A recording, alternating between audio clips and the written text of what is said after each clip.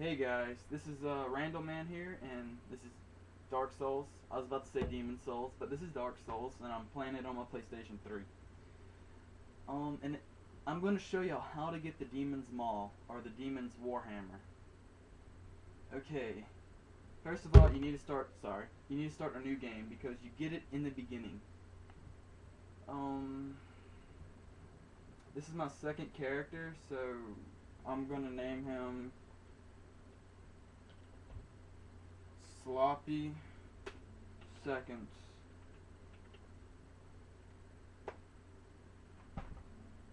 Uh, sex, male, class. Okay, I want to talk to y'all about this.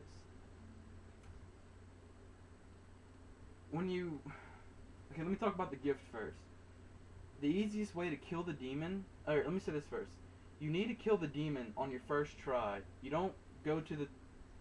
You know how normally you go through the tutorial and you skip out on the demon and then later on you kill the demon well you don't do that to get the demon's maul or demon's warhammer. You have to kill the demon on your the very first try the asylum demon or some shit like that. Um so you have to pick you don't have to but this is really really easy. If you pick the black fire bomb it does a shitload of damage on the asylum demon that's the only thing I ever used.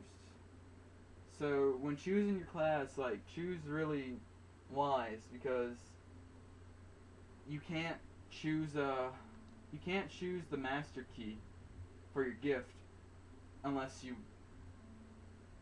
think you could actually kill the demon without the black fire bombs. So if you want the master's key, you have to be a thief. Face Color don't matter. Hair. I got long hair, longer than that, but. And what else have to? Okay, physique. Average. Firebomb. There we go. Accept. Yes. Okay. I might do like a.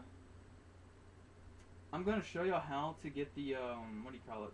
The Drake sword and the Bell Gargoyle Warhammer. Or hammer. Not hammer. The Bell Gargoyle axe.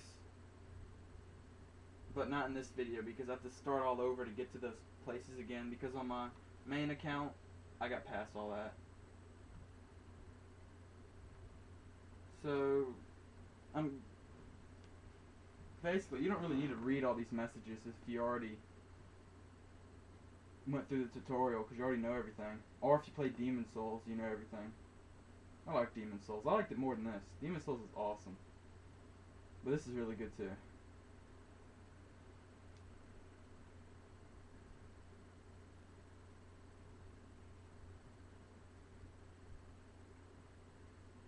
I don't know why I ran around. Alright. So you're in here, you light the bonfire.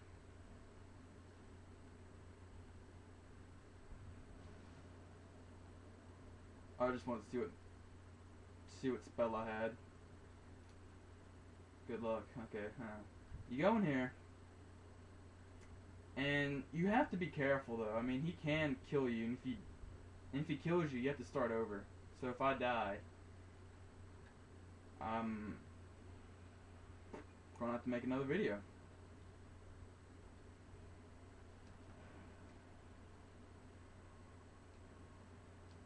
See, he does. See that firebomb did a lot of damage. It takes about four or five of them.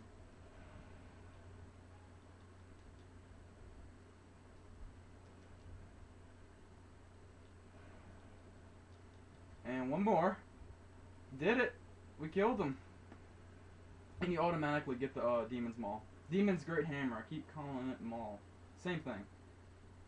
So uh, there you have it. And I'm uh, I'm gonna show it to y'all.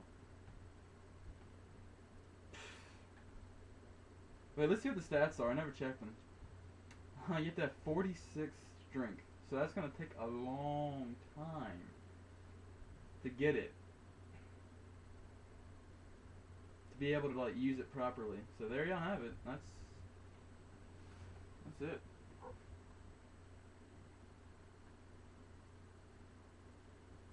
Um, I'm gonna keep going on with the video just to get out of the uh, tutorial.